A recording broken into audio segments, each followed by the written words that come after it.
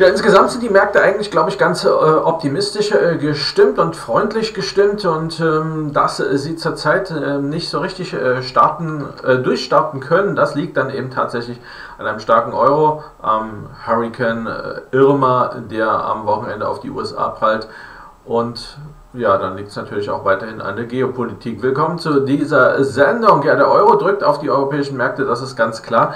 Ähm, die, äh, Mario Draghi hat zwar gestern meiner Ansicht nach schon einen kleinen Schachzug äh, präsentiert ähm, und eben versucht, die Anleihekaufreduzierung, die dann wohl doch irgendwann im äh, Januar 2018 zur Debatte stehen wird, eben nicht großartig erwähnt hat und ähm, die äh, EZB würde noch auf Zeit spielen. Meiner Ansicht nach dürfte es eher so sein, dass die EZB schon so einigermaßen weiß, was sie im Januar machen will. Aber ähm, ja, der Euro ist sowieso schon stark und wenn Mario Draghi dann morgen, äh, gestern vom Leder gezogen hätte, hätte es den Euro noch deutlich äh, weiter Richtung Norden vielleicht getrieben. Das wollte der EZB-Präsident sicherlich verhindern und der EZB-Rat, und das ist ihnen ja dann auch gelungen, auch äh, Bundesbankpräsident Jens Weidmann hat heute um Verständnis für die äh, Situation der EZB gebeten. Die äh, Inflation steigt auch nur sehr langsam, meinte der Bundesbankpräsident, und äh, die weitere Unsicherheit sei sehr unsicher. Deswegen benötige die EZB noch ein bisschen Zeit für die Bewertung der geldpolitischen Lage. Weidmann bekräftigte allerdings auch die Sorge um die Anleihekäufe, denn zwischen der einheitlichen Geldpolitik und den 19 verschiedenen Wirtschaftspolitiken droht eine Verwischung der Grenze zwischen Geld- und Fiskalpolitik, meinte Jens Weidmann. Und ähm, das ist eben das Dilemma. Also man muss schon irgendwann mal aus den Anleihekäufen wieder herauskommen. Denn so ganz von der Hand zu weisen ist es nicht, dass es vielleicht auch verbotene Staatsfinanzierung ist, auch wenn das der Europäische Gerichtshof ja ein bisschen anders sieht. Und am Ende hat der Europäische Gerichtshof natürlich recht, denn wir sind ja in einem Rechtsstaat. Der Hurricane Irma belastet zumindest teilweise die Wall Street, ähm, vor allem ähm, ja, zum Beispiel ähm, bei, den, beim, äh, bei den Verkehrswerten, also zum Beispiel bei Flug, äh, äh Flug äh, Airlines. ähm, da ist äh, beispielsweise schon zu erleb äh, erleben, dass da ein gewisser Druck da ist und das gilt natürlich besonders auch für die Versicherer. William Dudley allerdings äh, kann den Hurricanes durchaus auch was Positives ähm, abgewinnen. Klar, es ist viel menschliches Leid natürlich auch da, aber die Hurricane äh, bremsen nur kurzfristig das Wirtschaftswachstum. Äh, danach äh, gibt es in der Regel einen deutlichen Wachstumsschub wegen des Wiederaufbaus. Ähm, Dudley, der Chef der New York Fed, ist, bleibt auch weiterhin bei, äh, für schrittweise Zinserhöhungen. Allerdings hat er äh, in seiner Rede diesmal den Passus äh, nicht reingesetzt, dass es in diesem Jahr noch eine Zinserhöhung geben könnte, was eben darauf hindeuten könnte, dass auch William Dudley inzwischen für einen etwas vorsichtigeren äh, ja, Zinserhöhungszyklus sein könnte. Ja, und dann gibt es eben die geopolitische Lage. Morgen ist äh, Gründungstag Nordkoreas und da befürchtet der Markt natürlich die nächste Provokation aus Pyongyang. Ob sie dann kommt, werden wir sehen. Wenn sie kommt, könnte es am Montag gleich erst einmal wieder richtig zur Sache gehen an den Märkten. Was wir natürlich auch gelernt haben inzwischen ist, meistens sagen die Märkte mal kurz Huch und Donald Trump schickt einen Tweet, äh, einen Tweet hinterher mit äh, wüsten Drohungen. Und danach pegelt sich dann das ganze Marktgeschehen dann äh, doch wieder. Einer sehr große Crash wird wohl auch am Wochenende oder über das Wochenende ausbleiben. Aber vielleicht, ähm, wenn dann die nächste Rakete gezündet wird, äh, dann dürfte es vielleicht dann doch wieder die eine oder andere Verunsicherung am Markt am Montag erst einmal geben. Schauen wir mal auf die Daten, die wir heute zusammengefasst haben. Ein Thema könnte heute gewesen sein, dass also ins, äh, die Exporte sowohl in China als auch in Deutschland nicht mehr so dynamisch wachsen, wie man das erwartet hatte. Ähm, ansonsten waren die Daten nicht so schlecht. Das BIP aus Japan ein bisschen unter den Erwartungen, aber jetzt nicht wirklich dramatisch. Gute Wohnungsbaukredite aus Australien, Arbeitslosenquote in der Schweiz unverändert. Und aus Großbritannien gab es eigentlich eine ganz ordentliche Industrieproduktion und auch der Arbeitsmarkt aus Kanada hat sich äh, ziemlich äh, positiv äh, gezeigt. Der DAX hat daraus heute ja, nicht wirklich viel gemacht. Wir hatten heute am Ende ja, ein etwas schwächeren äh, DAX, aber insgesamt, wir hängen so an der 12.300 und ähm, sind eben dann heute nicht so richtig ähm, über das gestrige Tageshoch gekommen. Was heißt nicht so richtig? Überhaupt nicht. Das ist erst einmal nicht so richtig äh, freundlich gewesen. Also die Widerstände halten irgendwie. Ähm, jetzt muss man eben ganz einfach sehen, wie die ganze Nummer weitergeht. Noch gibt es natürlich die Chance, hier drüber zu kommen, auch wenn es charttechnisch im Stundenchart nicht so richtig schön aussieht. Wir sehen hier, dass der Blautenkan unter dem Kijun ist. Das ist jetzt nicht unbedingt eine Vorlage für die Bullen. Das muss man äh, schon mal äh, so sagen. Also hier ist durchaus auch möglich, dass wir nach Süden korrigieren äh, könnten. Im Daily Chart sieht das Ganze nach wie vor auch nicht so unfreundlich aus. Wir hängen eben, wie gesagt, an, in, den, äh, in den Widerständen, sieht man hier im Daily Chart auch nochmal sehr schön. Der blaue Tenkan und der orangefarbene Kijun seitwärts übereinander liegend. Wenn es jetzt hier einen Schub nach Norden geben würde, wenn es also einen Impuls geben würde, dann würde hier äh, wohl dann doch ein Kaufsignal entstehen. Ähm, wobei man bei Kaufsignal natürlich sehen muss, wir sind noch unter der Wolke. Ähm, wir müssten also dann schon mal durch die, durch die Wolke durchgehen. Aber wir hätten, denke ich, bei einem kleinen Impuls hier zumindest mal die Chance, äh, Richtung Wolkenoberkante zu kommen, also Richtung 12.500, 12.545. Zurzeit allerdings bleiben wir erstmal noch an der Wolkenunterkante und können da eben auch abprallen.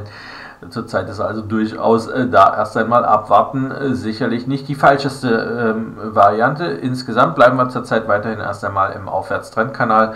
Also äh, ja, so ganz unfreundlich äh, sieht das Ganze dann nicht aus. Euro, US-Dollar haben heute sicherlich äh, den DAX dann im Verlaufe des Handelstages doch auch gestützt. Nachdem wir erst einmal am Morgen allerdings ähm, fast bei 1,21 waren, gab es dann doch Gewinnmitnahmen was dann sicherlich die Lage auch für den DAX ein bisschen äh, entspannt hat. Wir sind dann doch wieder runtergefallen, jetzt auf 1,2030 erst einmal. Aber wir bleiben eben stabil über der 1,20. Und ähm, das ist sicherlich noch nicht das ganz große Problem, aber wenn jetzt hier, ähm, wie einige Analysten es erwarten, dass, die, dass der Euro doch noch weiterhin deutlich zulegt, dann könnte das für die Exportwirtschaft äh, doch ziemlich problematisch werden und das könnte sich dann eben auch an den Aktienmärkten bemerkbar machen. Wir sehen, dass der Blautenkan noch über dem Kijun ist und ähm, aber vor einer Kreuzung steht. Das könnte also sein, dass die Korrektur hier noch nicht einmal beendet ist. Das wäre sicherlich für die Aktienindizes durchaus nicht verkehrt.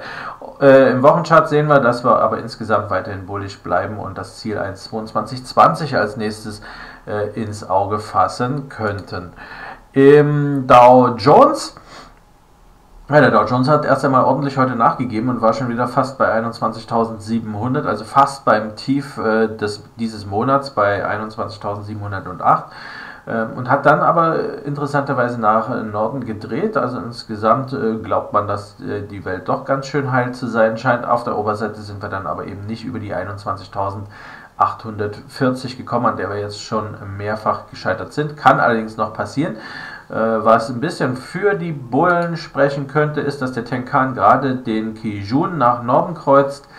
Wenn wir jetzt noch aus der Wolke austreten und über die 21.840 kommen, dann sollte die Richtung eigentlich ziemlich klar sein. Solange ist es immer noch auch hier eher eine Hängepartie. Im Daily Chart sieht es auch nicht ganz bullig aus würde ich mal äh, sagen. Hier sehen wir dann ähm, eben auch, dass der blaue Tenkan unter dem Kijun liegt, was eben nicht wirklich bullig ist.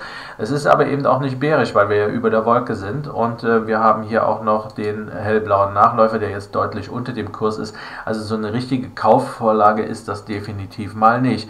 Im äh, Nasdaq und überhaupt in den Technologiewerten ging es heute doch etwas deutlicher nach unten als bei den äh, großen äh, Aktienindizes Nasdaq 0,4% verloren, fällt jetzt also wieder auf die Wolke zurück. Da sind also äh, die 6000 erst einmal heute kein Thema gewesen. Weit weg sind sie natürlich noch nicht, aber erstmal sieht das nicht so ganz ähm, so freundlich aus und auch der TechDAX hat heute ein bisschen nachgegeben, minus 0,25%.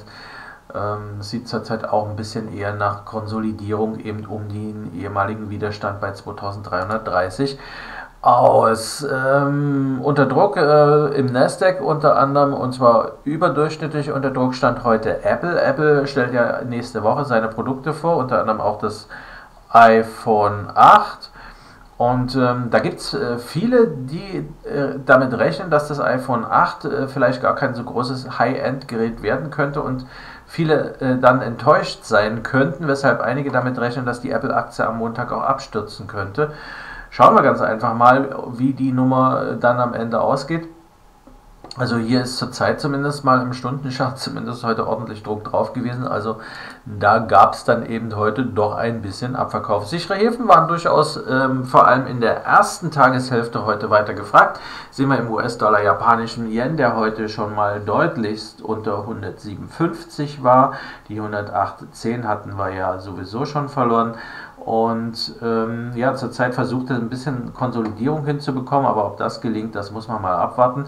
Zurzeit ist, meiner Ansicht nach, müssen wir hier über diesen Widerstand bei äh, 108,10 bis 108,25 wieder drüber kommen.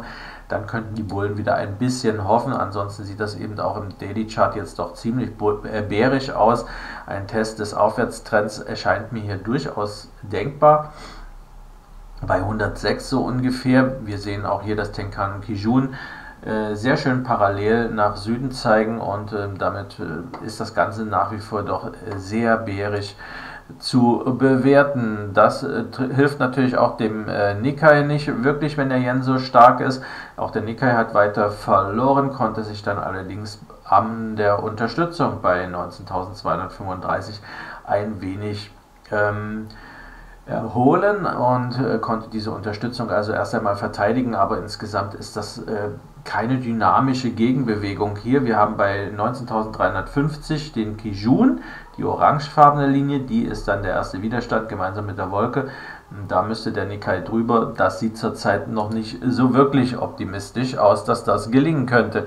Im äh, Gold gab es heute ein bisschen Korrektur am Nachmittag, nachdem das Gold vorher weiter gestiegen ist, auch aufgrund der Dollarschwäche und eben ja, sichere Häfen. Sie werden durchaus gesucht. Also es ist nach wie vor so, dass die Märkte, ähm, wie gesagt, von der Konjunktur her ziemlich optimistisch äh, sind. Also es gibt auch von den, äh, vom Parkett immer wieder durchaus optimistische Meldungen. Aber ähm, es gibt eben diese vielen Risiken, die eben äh, von Geopolitik über Stürme, bis hin äh, zur Politik im Weißen Haus reichen. Und ja, die EZB hat gestern auch nicht unbedingt äh, dazu beigetragen, dass man jetzt irgendwie klarer weiß, was da in Zukunft ansteht. Das alles belastet die Märkte durchaus ein bisschen. Und ja, Gold hat dann heute mal ein bisschen korrigiert, da sind also ein bisschen Gewinne mitgenommen worden. Wir bleiben aber über der 1340 und auch über der 1344 so, wo wir dann noch diesen Peak hatten am 5. Äh, 6. September.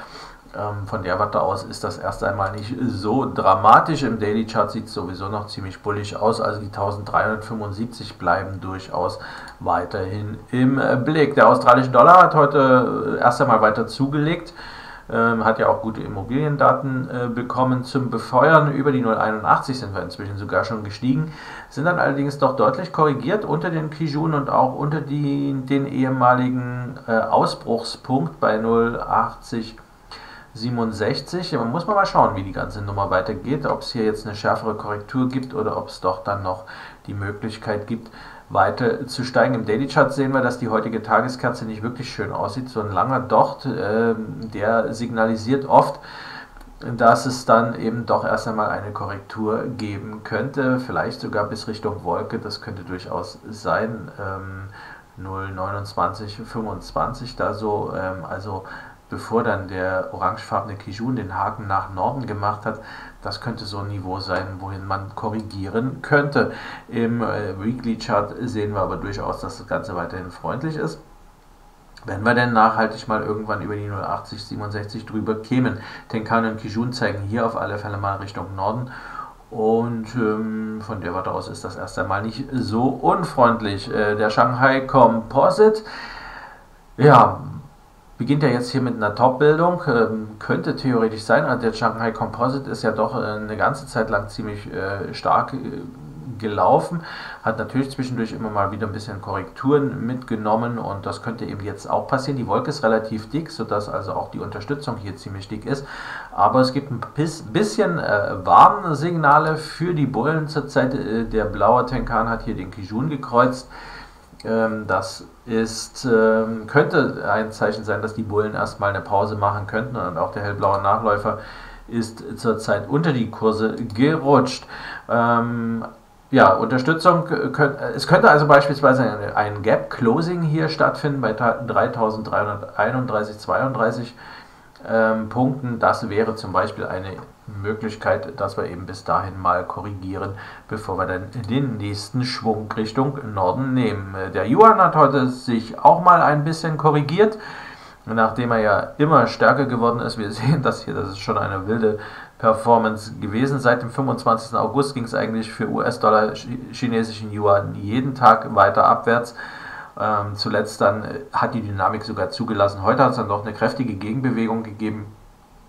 Aber ähm, ja, ich, die Linie hätte ich hier mal nachziehen können. Nicht? Äh, so bei 6,52,50 dürfte die jetzt verlaufen.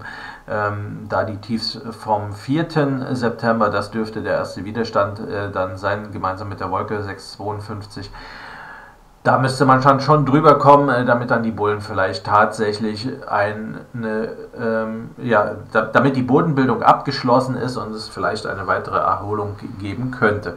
So könnte man das vielleicht sehen. Euro, Schweizer Franken, Arbeitsmarkt wie gesagt ohne Auffälligkeiten. Der Schweizer Franken hat heute trotzdem weiter zugelegt und äh, nähert sich dann langsam mal wieder dem unteren Ziel dieser Seitwärtsrange hier bei 1,1355. Tenkan und Kijun zeigen auch nach Süden, sieht zurzeit eher bärisch aus. Sind ja auch heute durch die Wolke endgültig durchgegangen. Äh, Insgesamt ziemlich volatil das Ganze hier. Ähm, naja, schauen wir mal. Wir müssen ja, wie gesagt, erstmal durch die 1.1355, damit sich da vielleicht ein neues Szenario ableiten lassen könnte. Der Swiss Market Index ähm, heute seitwärts gelaufen. Also da hat der stärkere Schweizer Franken heute keinen Schaden verursacht, sagen wir mal so. Wir bleiben knapp über der äh, 8960. So ein ganz bullisches Signal gibt es jetzt hier aber auch nicht. Der Tenkan ist doch ziemlich tief und seitwärts und auch der blaue, äh, der orangefarbene Kijun ist ziemlich tief und äh, seitwärts und der blaue Tenkan ist inzwischen auch seitwärts. Ähm, sieht eher so aus, als ob wir da aus dieser ja, mehr oder weniger Seitwärtsrange nicht so richtig rauskommen. Euro britisches Pfund hat deutlich verloren. Das britische Pfund zurzeit doch ziemlich dynamisch unterwegs. Heute, wie gesagt, die Industrie auch gar nicht so schlecht. Sind wir dann unter die bisherigen Tiefs hier der Korrektur bei 0,9130 durchgerutscht. Und müssen wir mal schauen, wie die ganze Nummer weitergeht. Wir sind jetzt äh, im Prinzip direkt am Kijun, der ja auch nochmal einen, wichtige, einen wichtigen Support äh, bildet. Und ähm, ja, brechen wir da auch noch durch. Ja, dann könnte die Korrektur durchaus bis auf die Wolke sich äh, fortsetzen. Also auch und knapp unter die 0,90 noch äh, fallen. Also hier zurzeit äh, sieht es doch nach ein bisschen weiter Fortsetzung der Korrektur aus. Ähm, ja, schauen wir uns mal schnell den, äh, das Cable auch an. Das hat heute auch deutlich zugelegt weiter. Ähm, war heute schon mal bei 1,32 und ähm, ja, hält dieses Niveau auch ziemlich gut. Also wie gesagt, beim Cable sieht es zurzeit eigentlich ganz gut aus. Ähm, da scheinen dann doch einige jetzt ein bisschen optimistischer zu werden, was auch den Brexit betrifft. Kommen wir über die 1,3265 drüber hinaus, das bisherige Jahreshoch, dann könnte es sogar zum Brexit äh, Gap Closing vielleicht kommen. Ähm, das wäre dann bei 1,3655 äh, zu erleben und dann haben wir da die größere Wolkenstufe noch bei 1,38.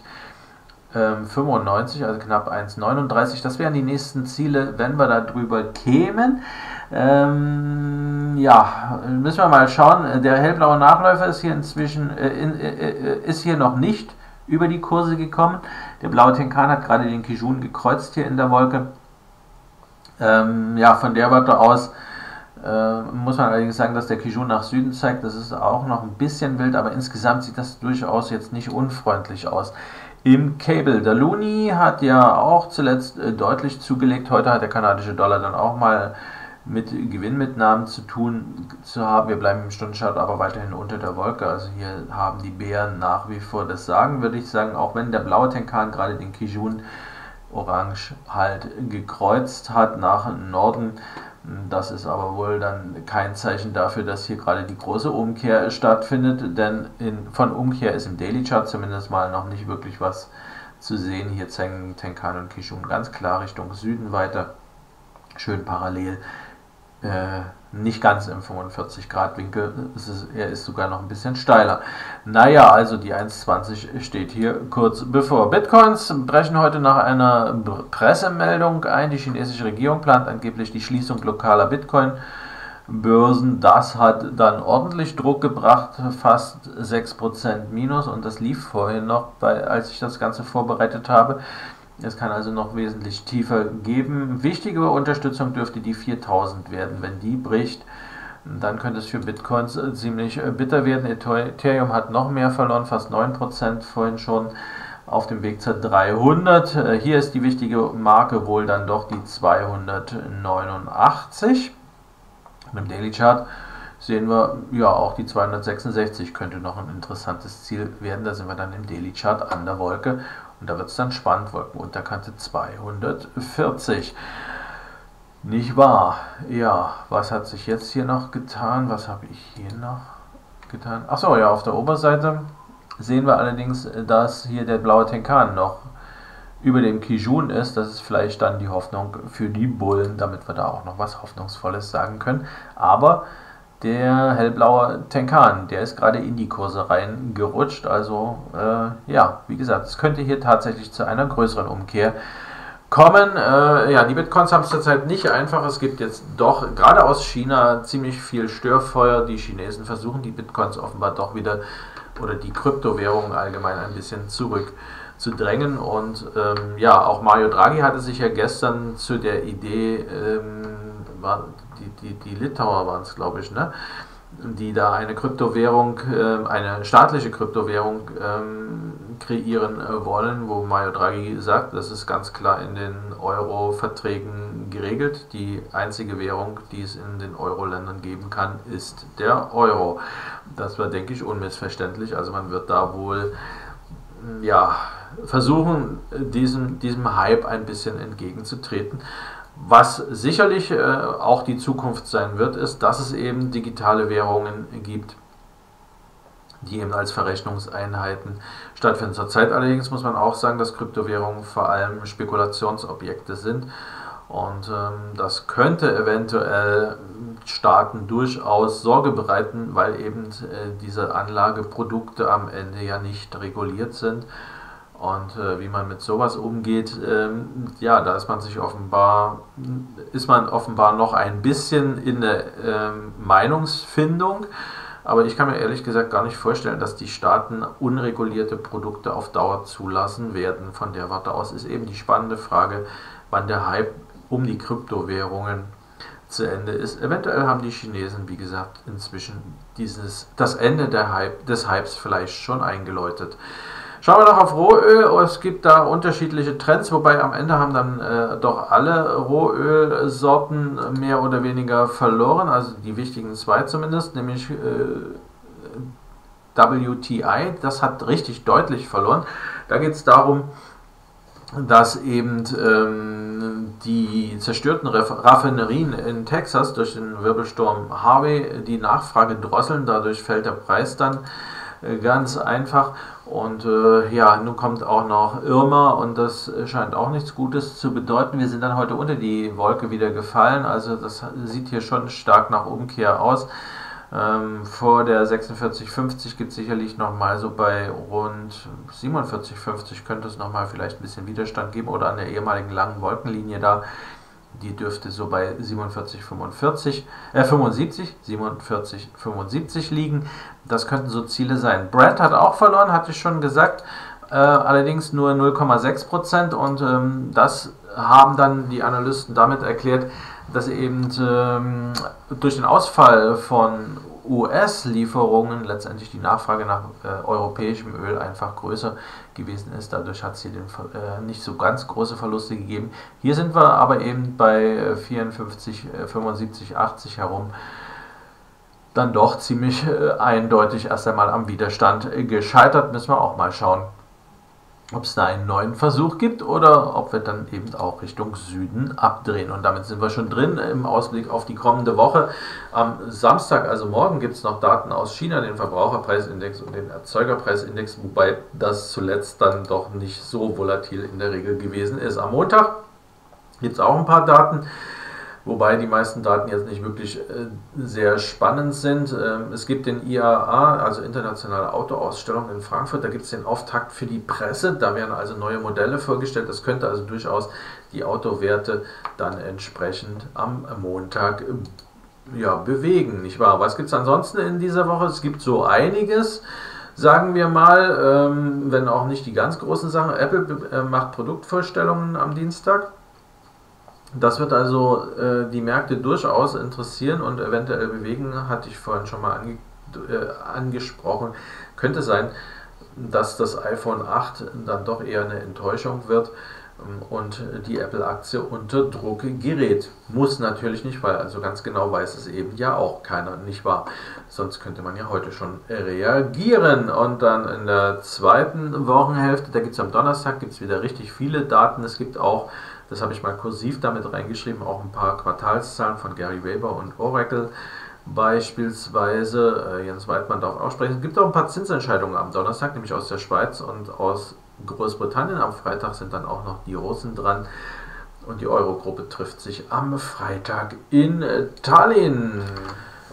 Apropos Eurogruppe und Italien, gute Nachrichten gibt es von äh, Griechenland. Äh, zumindest gibt es eine Maßnahme, die uns zeigt, dass es in Griechenland offenbar wirklich Fortschritte gibt. Die EZB hat nämlich äh, angekündigt, zum 20. September die Obergrenze für Notkredite für Griechenland um 5 Milliarden Euro auf 33,9 Milliarden Euro zu senken. Dies sei eine Reaktion auf die positive Entwicklung der Liquiditätslage in Griechenland und die private Geldflüsse. Das ist doch zum Abschluss nochmal eine gute Nachricht. Und mit dieser guten Nachricht entlasse ich alle ins Wochenende. Ich wünsche ein wunderbares Wochenende. Am Montag können wir uns wiedersehen. Bis dahin.